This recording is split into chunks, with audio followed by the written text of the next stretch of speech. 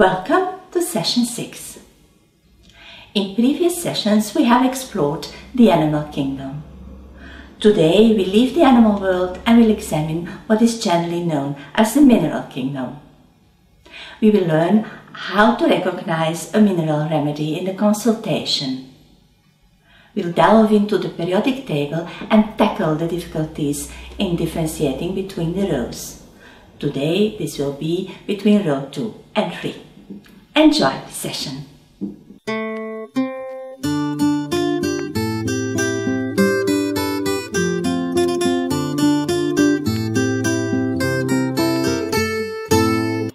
In this session, session 6, we are going to talk a bit more deeply into the features of the periodic table.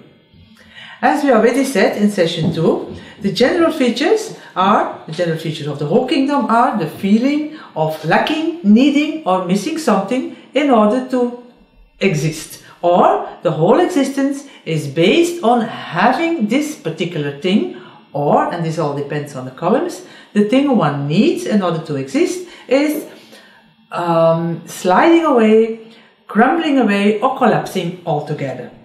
So these are only the general features. We just touch a little bit in that session as well on the importance of the context in uh, case taking and uh, anamnesis. So the context, or what I mean by context, is the way the information comes to you. Now there is a difference between uh, um, the way an animal case will present to you or evolve uh, throughout the case taking or a mineral case or a plant case. The um, mineral, the mineral uh, kingdom, the elements belong to the second dimension. The second dimension being the dimension between the first and the third. The first is the uh, center of the planet Earth, and the third dimension is the surface. That is where uh, plants, humans, and animals um, live and share their experiences. So under our feet we have the second dimension, and that's the realm of the elements, the, the stones, the crystals, the ores, the, building blocks, you can say, of the uh, living creatures on the third dimension. And also, as it is the laboratory of, laboratory of life, we have there the uh, primitive organisms, the viruses and the bacteria. So there is uh, a common, let's say, a common realm that they share, nosodes, monera and minerals, and there's something in common um, with uh, remedies from the third dimension, the plants and the animals. This means, in case taking, we somehow will notice this difference. So specific to uh, the second dimension cases, uh, minerals or nosodes, is this kind of simplicity, if I can put it that way, the kind of straightforwardness in which the consultation will evolve. Mostly the patient will present with a problem, one or two, but there's, or three or four, but there's one main topic. There is like one important um, underlying topic. Even if, if there are different problems on different levels, there's one thing that underlies all the others and is the main thing. It is the, let's say, um, the, the, the difficulty, the heaviness is there. So as you want to know more about this problem, as you explore what is the problem is with the patient, it is like they are building up. They give you the, the generalities of the problem, the main characteristics, and then you ask for details. And then they don't go into another example or another situation or another level. They talk about the same example and they build on the same example, giving more details, giving more uh, characteristics, and you can look at the same thing from all angles, but still the same thing. So there is um, in this whole case, it is like you have uh, deeper and deeper understanding of this one topic, and it's almost possible in every mineral case to boil it down to just one sentence. The problem is, and you can put it in a few words, one sentence, sometimes even a few words, which will lead to the specific remedy. We don't see this characteristic in, for instance, animal cases where I already told you. You have like one piece of the puzzle, this is um, part of the belly, and then you have another piece of the puzzle, and that's part of the ear, and then another piece of the puzzle seems to be the nose.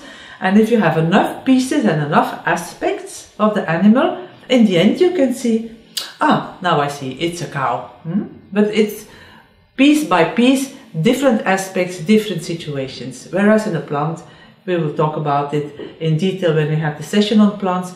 There you will have like a lot of um, leaves and flowers on a bush eh, to give you the whole picture. So this kind of simplicity, straightforwardness is typical for mineral cases and this will help us. That if we in the end have to make a decision, a final decision about kingdom, sometimes even in the beginning, but if we have to um, conclude in the end, we will have an extra uh, hint for the mineral kingdom out of the context of the case. It doesn't have anything to do with sensitivity or because everybody is sensitive to his own problem. So this mineral will be sensitive to his particular problem. So it's not as we used to say in the beginning that the, the minerals are a bit dry cases, they are a bit detached or a bit distant from their own uh, emotions or they are, they are less emotional. This is a bit uh, hard to, to discern a case on basis of these interpretations. Mm-hmm. Uh, another mistake we often make is we think about the mineral because of this so-called detached talk of this uh, matter-of-fact talk, this a little bit of dry report of the facts. But we have to understand that a lot of people will start like this because it's the way we have social contact, it's our social talk. Usually it's a little bit distant. We don't just open our hearts the very first minutes we meet somebody. So we just, let's say, try the other out a little bit and we talk in general terms. And then maybe later when we get more familiar with somebody or we get closer to somebody we will give more intimate details or more individual details about our real feelings. So it can be just the first round of the consultation where a person just gives you more or less general factual a little bit unemotional information doesn't mean that the problem isn't serious or the person in himself is not sensitive. Hmm? Um, we heard in the beginning that mineral uh, cases are structured. Again, this was a little bit uh, confusing. Although it's right, it is a matter of language. For instance, in our language, if we use the word structure, we mean, we often mean um, uh, being organized. So the structure doesn't mean this framework or this foundation on which we base our existence. It is a way of putting it, putting the fact that we are very organized and we structure, for, for instance, our day, or we structure our agenda, or we work in an efficient way, and we would call it structure. But this is not the structure we talk about uh, when we talk of mineral kingdoms needing of um, mineral patients needing a remedy from the periodic table. So although it's not wrong, it can be confusing because it's a matter of language. And if the word structure is used when a patient is telling, for instance, about his work, he might as well mean that he's a very good uh, uh, employee working in an organized, proper, and orderly way. Doesn't make him a mineral. Hmm? One could say if you belong to the cancer miasm, you, you're bound to work very organized and structured because that's in your nature. So that doesn't boil it down, doesn't limit it to only mineral remedies. The basic idea was right. The basic idea is the structure, the framework, the basis, the foundation on which the existence is founded. So it's important that I stress, and that's why I stress it, it's existence um, versus, in animal cases, survival. In fact, it means the same. Yeah? In a plant, they probably will talk about life eh? uh, and, and uh, life and death. And it's all the same thing. It's about being alive or, or not being alive, being dead. But in an animal case, it probably will sound like kill or being killed. In a mineral case, it will be existence, my existence, my being, being there. And the fundamental idea of fundamental sensation in the mineral, we already said so, is the existential emptiness. Hmm? Is the feeling of inside I'm empty, there's nothing there. And then the search for purpose and meaning and aim in life. So in the periodic table, you're all familiar with that, we have the horizontal rows and the vertical columns. Hmm? I call it this way. The, the horizontal rows, they reflect the stages of a human life. Of course, this is a reflection, a symbolic representation. Hmm? And I gave a few keywords on my subkingdom um, schemes. Uh, and to be very short, to be very, um, how to say, uh, to put it in the least uh, words that you can remember best. So the first row is about incarnation. Hmm? It's before you came down on planet Earth, before birth. You're not born yet, though you are already incarnated. That mean that means you have an awareness of existence. Hmm? You already exist. So the hydrogen, I only have two remedies there: hydrogen on the stage one or column one, and uh, helium on uh, column 18. So these the two uh, extremes. The one is do I exist hmm?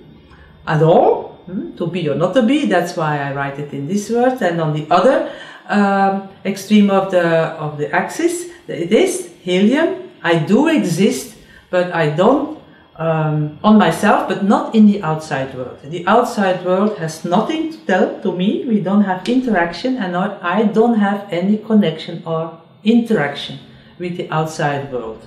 It's like being enclosed in the womb and and being okay there. Of course, life is very limited. Eh? That's why it's called a remedy for autism because there's no interaction, no understanding of the outside world. Then row two is uh, represented by the birth process and the, the um, aim is to become a separate being, to be separate from your mother. The third row represents the growing up and building up an identity. The whole fourth row, with its 18 remedies, are all stages of building up a normal life in society. You're already separate, you have your identity, you established an identity, now you go out in society to build up, uh, establish a normal life like everybody else. Then the fifth row, after you know, after you learned how to be a good citizen, a person among the other persons, then you want to be something special. You're ready to do something that nobody ever did before. So then the purpose of the fifth row, the issue is to be somebody special, to do something new, to do something different, something that nobody ever did before you. And then the sixth row, the representation of the sixth row is the leadership. I know how to do something like everybody else. I can do something special, something new. Now follow me. I'm your leader. I will show you how. And it's the one, the leader who takes the full responsibility for the others. The seventh row is the row of disintegration. It's the last stage of life where everything is finished and falls apart. Now in this session I want to take the opportunity to go into a bit more detail of the second and the third row. As I said, the second row symbolizes the birth process, becoming a separate being. This means that the remedies belonging to the second row don't feel separate yet or they are in the process of separation, they feel the urge uh, to start the process of separation, or they just finished the process. This is something completely different than ending a relationship. Because in a relationship there are two individuals. But in the second row, we're not talking of individuality yet. There's no individuality in the person yet. So the um, interaction, the relationship they have is a symbiotic relationship. So if we go, if we have a look at the remedies, we have lithium, beryllium, boron, carbon, nitrogen, oxygen, fluor. We talk a little bit more about each of these uh, elements now. Lithium in uh, column 1 is living completely by somebody else. Hmm? I live through you. That's the feeling they have. Of course, this is unconscious, but we will understand by the way they express uh, this sensation in their daily life hmm? and in their conditions to be okay. Yet they feel there is a beginning of the separation. They feel the, the birth process, the need to be separate has started. They have to somehow start this program. And in daily life, whenever they are confronted with anything they have to do on their own, separate, independent, they completely freak out. Hmm? It's total panic. Hmm? That's why they can't. They just close down and go into depression. Hmm? Or sometimes it's the other way around and then, you know, they become manic and that's why we know lithium as a remedy for manic depression. In beryllium, beryllium is the second column, and we know the remedies that are under beryllium because they are very well known classical remedies. It's magnesium and it's calcium, and those remedies are very well known for their dependence. Eh? They are they feel very uncertain, they have a lot of dependency, they're very shaky, they have they're not very stable. You can you can by studying those remedies know that the foundation under their feet is not very firm yet. Mm? So they didn't establish a lot of foundation yet in their process. For beryllium, this process is the birth process. So it started, it already started. Mm? The baby is pushed out, it's going to get out, it, it must eh, follow this way to, to being a separate being, but it's so easily overwhelmed like Calcarea, who is easily overwhelmed by the hardship of the hard, uh, outside world. In beryllium, it's every stress on um, being independent, every need, every uh, um, uh, demand on doing something separately, independently, he feels overwhelmed. It's too much. Mm-hmm. And he's so unstable and he will always fall back into this symbiotic uh, relationship. We even had a patient here, a Berlin patient, 65 year old woman, who said after 45 years of a bad marriage, she said, I was a couple. That's the way they feel. Hmm? There's no, not even an identity there. Her life was a couple. In boron, the third column, we know boron is going down. Hmm? And they are very afraid to go down. That's our classical symptoms of fear of downward motion. So we can, it's a symbolic, symbolic representation. They go down, down to the birth canal. They already see the end of the tunnel. And again, they're very, very fearful because they have to get out. Mm, that is what is happening. There is no way back in Boron. They're very sure about that. But they're so afraid that they won't survive. It's difficult, it's scary, it's dangerous, it's a matter of life and death, and they're not sure that they can do it on their own. So they're shrieking for help. They're panicking and they're shrieking for help.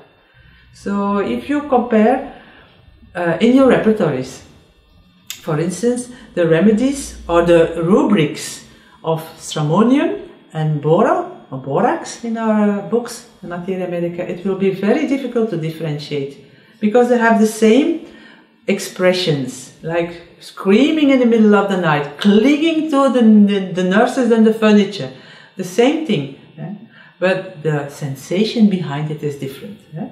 In boron is the, the panic because of the separation, hmm, the separation that will come, and in stramonium is because they see all kind of horrible things and catastrophes happening and, and um, danger and violence and black dogs and whatnot. Hmm? So there's a different reason, but the reaction is about the same. Then we have carbon.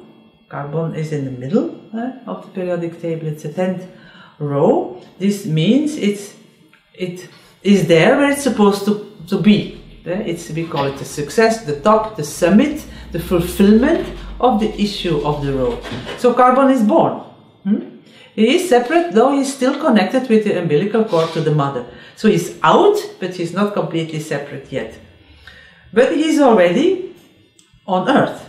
Welcome to planet Earth. Welcome to this carbon existence. And the issue is in carbon from a, nobody becoming a somebody. Hmm? So it's congratulations, ma'am. It's a girl. You become a somebody. Uh, you're not an, an undifferentiated being. Hmm? You're already somebody, even before you have a name. So there is this issue of, um, in order to be somebody, you have to live. So you have to make a vital effort to show you're alive eh? and to stay alive. That's the issue of carbon. And to be somebody. That's not an identity yet. Eh? It's being a, a separate person. Whereas nitrogen, that's the next stage, is in the situation that he's still connected with the umbilical cord to the mother, but not for long. And he realizes that it won't take long before he has to breathe by himself, all by himself, using his lungs. And this is something he never done before. So he comes from the water, and now he's in a different element altogether, the air. And he has to do something in unknown tem- territory, in an unknown way, but there's a, a big um, need to do it very quickly, otherwise he will suffocate. He can't afford hesitation, he has to do it and he has to do it now. So there is a quick, we could say, impulsive action, that's why we have impulsiveness in our rubrics. Hmm? There is this um, claustrophobic feeling, that the suffocating feeling, the feeling of danger, that's all in nitrogen. He has to do something now, even if he doesn't know where he jumps and he doesn't know where he will end. But it's again a matter of life and death. Now, something extra I want to say about nitrogen. There is no division between me and not me. That, that is for the whole row. That applies to the whole row. No division between me and not me. This means the outside world uh, and me is the same. Whatever happens to me happens to the outside world, is projected in the outside world, and vice versa. Hmm? Because the identity is only the issue of road 3. We are not in road 3 yet. And we know a baby before 6 7 months old, or 5 6 months, has no division between me and not me yet. Hmm? Mother and me is um, one even after birth, even, even in the first months. So nitrogen feels or projects this to the outside world, whatever is done to the outside world, and damages damages it, or um, or is a matter of waste or a matter of destruction. He feels as if this is done to himself. So he will fight these people who do this, hmm? and he will uh, be very angry mostly it's kept inside and have very violent thoughts uh, towards people who do things like that, who damage or, um, or have destructive acts to the environment because he feels when the environment is damaged, he will be dam- damaged. Um, if planet Earth is not going to survive, he will not survive. But he's not aware of his own interest, let's say, in this whole matter. The thing is, he will fight them. Hmm? And we know, of course, we know nitric acid as the remedy for engaged in a lawsuit. They will fight because they can't stand that people will get away with it. So they will um, ask others yeah, to uh, do justice, to punish the ones who do something wrong to the environment. Mm-hmm. And that's why often we see that the nitrogen persons are um, putting a lot of effort or maybe the most um, time and energy in their life uh, for this issue hmm? to protect the environment or, or become uh, environment activists or something eh? or they uh, uh start lawsuits against people who they feel are wrongdoers they also have another sensitivity and that is to the traumatic uh, birth hmm? or birth traumas and they will maybe uh, over exaggerate a little bit the uh, lifelong effects of that because that's what they feel. Hmm? That birth was very uh, traumatic, it was a suffocative um, experience, and I could have died in it. It was very dangerous. Next stage is oxygen, but in daily practice, I must say, ozone is the oxygen uh, uh, isotope that is much more common. Oxygen being O3, O2, ozone being O3. We have a very good proving of ozone and and we lack this uh, proving from oxygen. And it seems that somehow the ozone picture is more common.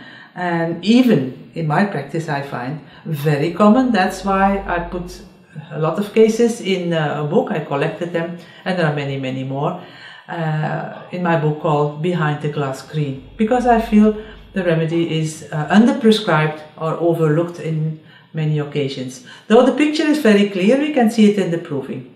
But of course, like it always goes, when you prescribe on a proving, you see an actual patient before you. You will recognize it easier in the next patient and even more easier in the next. And then finally, you're so familiarized with your remedy picture that you will recognize it even uh, when you hear a few words or see the single uh, ozone hand gesture. So what is the feeling of the ozone? The umbilical cord now is cut. That's the feeling. Yeah, now all of a sudden you separate. The separation suddenly happens. Now you're on your own. You're all alone on your own.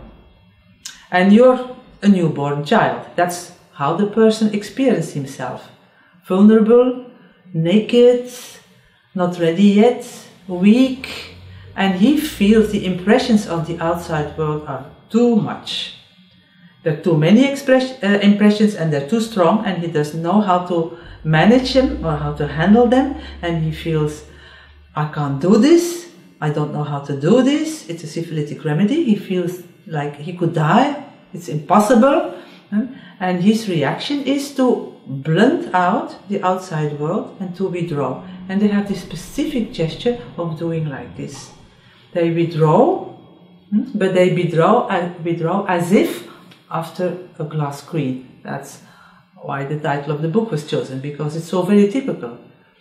In the proving, it is uh, reflected in dreams, uh, houses made of glass, or dreams or delusion under a glass dome. So what is typical in this image is you still can see the outside world, you still can hear it, but the impressions are not that strong anymore. Hmm? So it's like the volume come down and they cannot touch you. So there is something between you and the impressions to protect you from being too much overwhelmed hmm? or even to die in the process. So this is your protection. You can still look at the outside world Maybe they can see you, but they cannot uh, affect you directly, not touch you. Hmm? And that's their protection, this glass screen. Um, we see then, because they are uh, after this gla glass screen, that they don't have this interaction, this connection, so they feel a bit detached or they're completely withdrawn even and they're unable to speak or they don't want to speak, they want to be alone. And often they have complaints they don't see very well, or even when they look in the mirror, they don't recognize themselves, or they don't hear very well. It's like all their senses are blunted. But this could even be uh, their main complaints. Hmm? And what they like to do is they just want to be off the world, stay in bed, and don't have anything to do with what is happening outside. And then finally we have Fluor, Fluor is now finally separate. Knowing how easily he connects, he tries not to get connected again. Because he knows, or he somehow he feels that in a relationship he will be too much connected and it will be again a symbiotic relationship where the two fall together and become one. So that's why we know all these um, rubrics from Fluor that the betrothal must be broken and the servants must be chased out of the house and so it's all about breaking relationships no relationships whatsoever and then we build on those rubrics our interpretations of it. It's the person without any morality and the person of the one night stands and he doesn't want to engage in a relationship, etc. Maybe it's true, maybe it's not. It's one possible expression of this I don't want to get um, connected again. I have to stay separated now. It was difficult enough to get there, and that's how I have to keep it. So that's fluor.